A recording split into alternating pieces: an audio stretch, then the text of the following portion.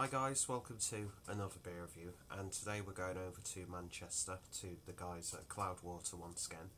And this is brewed in collaboration with uh, Jeff Bagby from Oceanside, California. Full Fat Productions I think they're called who put on an event or it's a food and drink event in Manchester.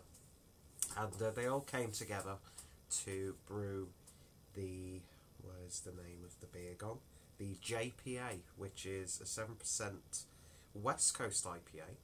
So I'll quickly read you the blurb on the back uh, before we get into it. Brewed to commemorate our dear friend John Paul Casti, we collaborated with the renowned Jeff Bagby from Oceanside, California. This classic West Coast IPA was packed full of hot side hops and brewed with a neutral Californian ale yeast. All the profits to the beer will go to support the amazing work, excuse me, of Headway supporting those affected by brain injury. So the yeast is WLP001. Uh, the aroma hops are Cascade, Centennial, Chinook, Columbus, Amarillo, Simcoe. What a hop build that is. Bittering hops are Pilgrim CO2 Alpha Extract. Malts are Halcyon, wheat and caramalt. And apologies if I keep wheezing, I'm just coming off a cold. But uh, yeah, this is a fairly special beer actually, and um, to commemorate uh, Jeff, excuse me, let me start again. Uh, so this was actually brewed to commemorate and pay tribute to John Paul Casti, who played an absolutely massive part in Manchester's craft beer scene. Um, heavily involved in the likes of Port Street Beer House, I believe. Um, I'm not going to lie, uh, I don't know too much because I'm still very fairly new to this, but it, it was a name that was brought up quite a few times from what I remember. And uh, there's an absolutely lovely little blog post on the Cloudwater website uh, with a bit of a tribute from Full Fat and uh, just talking about what he did and not just what he did for Manchester brewing scene, but he sounded like an absolutely wonderful chap and uh, yeah, such a sad way to go.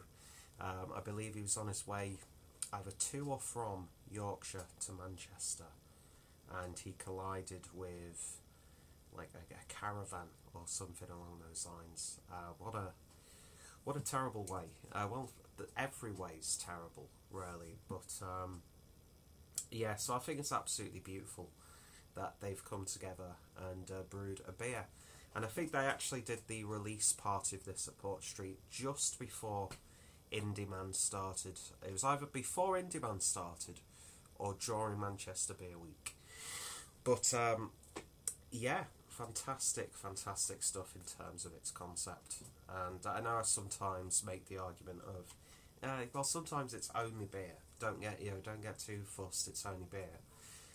But I can't think of too many uh, culinary industries that would come together in such a way to uh, commemorate someone who helped put Manchester on the map. And uh, one of the things I did read was that back in 2012, I think he was one of the first people to bring uh, an oak barrel from Bamberg over uh, for a Schlenkerla event. So, um, if only I was really, really into this sort of stuff back then.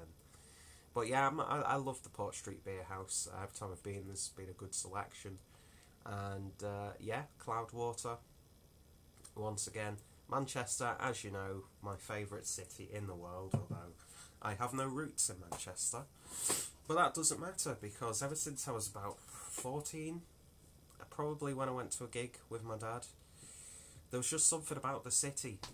And then you start getting into obviously Manchester's musical history with like Factory Records, uh, the likes of Joy Division, A Certain Ratio, New Order, The Smiths, Stone Roses, you name it. And then, uh, of course, one of the things that really did um, put Manchester on the map for me was the absolutely beautiful 24 Hour Party People, which to me is just the the greatest film of all time. And uh, even if I'm just there for a few hours or a day or staying over, I always have an absolutely wonderful, wonderful time in Manchester.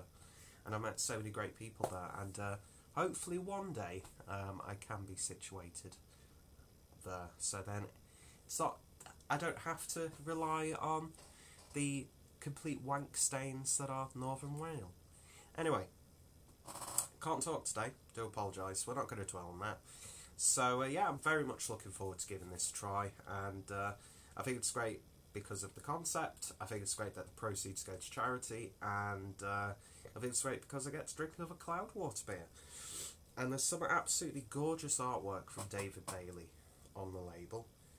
And if you actually compare it to the photo that this is referencing from, it just makes the illustration that much more fantastic. So, best before date, or count on date, 26th of October 2019, uh, 18, sorry. I think they must have rebrewed it then, which I think is a good thing. Uh, then fresh scale is the 5th of the 12th set, uh, December of this year. God damn it. And then the best before date is the 13th of February 2019.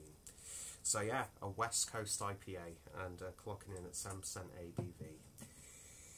There we go. And of course, got the brand appropriate glassware. But as I said, if you want to read more about this beer and what inspired it, then I will put the uh, blog post down below. But yeah, I didn't want to, you know, read too much and then go into it because then I end up going on and on and on during the video and probably get a lot of information wrong, which I really don't want to do. But I didn't just want to gloss over why this beer was made. Do you know what I mean? But uh, yeah, beer in a glass, and that is looking like a classic West Coast IPA, if I ever saw one. It's weird, isn't it? You really don't see too many IPAs like this now. But um, yeah, I'm, I'm, a big lover of West Coast hoppy, resiny IPAs. It's what really got me into craft beer and IPAs in general. I'm adoring the, the juice, don't get me wrong, some of my favourite beers have been very hazy New England style IPAs, but I always love it when I can get a nice classic West Coast IPA. So I'd imagine this could be inspired by John's favourite style. I'm not too sure. Uh, as said, I just I, I, briefly went over the, the blog post, but uh, yeah, seeing the, the photos of when they put on the the night uh, to celebrate this release was just absolutely fantastic. So anyway, it looks wonderful. Let's see what it smells like. Oh, there's about one thing as well for white coloured head, as if you didn't know that already.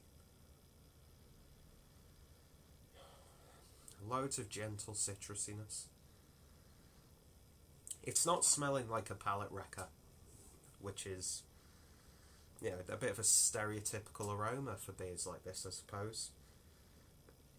But yeah, you get this lovely candy-like sweetness there there's almost like a slight caramel aroma coming through.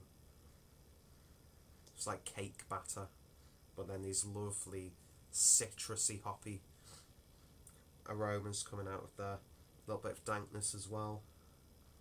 Of pine, lychee, grapefruit, that sort of stuff. It's really nice and sherbety as well. It smells lovely, so uh, let's give it a taste. Cheers, guys.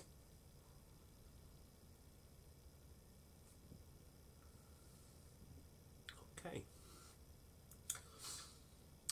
Wow. Instantly, you get hit by a hoppy bitterness. And it's absolutely wonderful. It's almost spicy on the tongue. It's really tingly. Excuse me. Lovely upper medium mouthfeel, but there's like still a nice level of crispness there.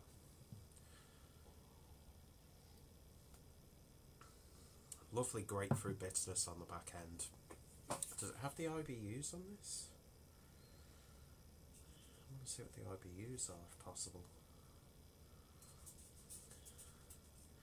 No, I don't believe so.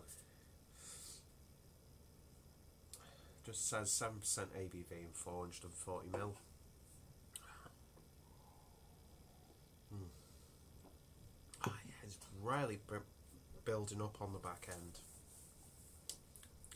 Loads of tart sherbety tones, ounces and ounces of grapefruit.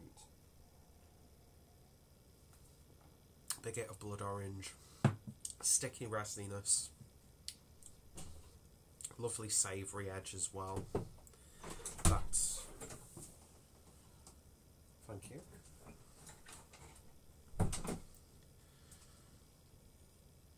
That's chips for no reason, but I'm going to happily accept them. Mm. Yeah, that's really nice. It's such a a great palate refresh because um, I had a phase where I was like, I'm gonna I'm gonna hold back off these like fruity, sweet, juicy IPAs. Let's have something a bit more classic. But now I'm really back into the juicy, sweet IPAs, and I'm drinking this. I'm like, I want more beers like this. But yeah, it's, it's a really good beer. Making horrible noises as I gulp. Apologies about that. Mm. I really like that a lot. Just what I'm really in the mood for, actually. And it's actually a lot more uh, intense than I thought it would be. On the nose, it's really reined in and balanced and nice. Almost has like a slight fragrance about it. But on the palate, it's like boom. Not a palate wrecker, but it's almost there. I'd say it's roughly around 70 to 80 IBUs, perhaps. That's just uh, shot in the dark right there. But no, even if this wasn't a nice beer, I'd still be definitely behind it because of uh, the concept and that sort of stuff. But at the same time, I wouldn't just say it's a good beer because of that either. Do you know what I mean? But um, thankfully, there's nothing wrong at all with it. And it helps to a good cause for those affected directly or indirectly, for those who have lost. And it also commemorates uh, a key figure in uh, one of the most exciting uh, beer scenes in the country. So, um, if you get the chance to pick up a can, definitely do yourselves a favour. I'm going to put all the links down below as usual. As I said, I'm going to put the blog post because it's a really nice read. I'm going to read it properly after I've uh, recorded this. Uh, then I'll put obviously Cloudwater. Who else we got? We've got um, Jeff Bagby. I'm not sure if Oceanside is a brewery or just part of California, but he will be down below. As will David Bailey, and of course uh, Headway will be included also. Uh, pick this can up from Manchester in Beermoth. Beermoth. So every aspect of this beer actually has been really satisfying for me. So in terms of a rating, I'm going to give that an 8 out of 10. Mm-hmm. Really nice stuff, and it's got a great, well, it's got a great sort of tribute about it, and um, yeah, I'm I'm totally behind that. Oh, it's lovely stuff, it really, really is. Anyway, if you tried this beer, then let me know your thoughts, opinions down below. Uh, what you think of the the brewery? Uh, do you have any stories relating to the beer? Love to hear that in the comments. Check out uh, everyone involved. If any of my friends and fellow beer tubers have reviewed it, the links are down below as well. And uh, yeah, check out the, the charity that this beer is supporting as well. Because I think we need we need more of that nowadays in this shitty world that we found ourselves in. So uh, yeah, thank you for watching, and I shall hopefully see you all later. Cheers, and you all take care.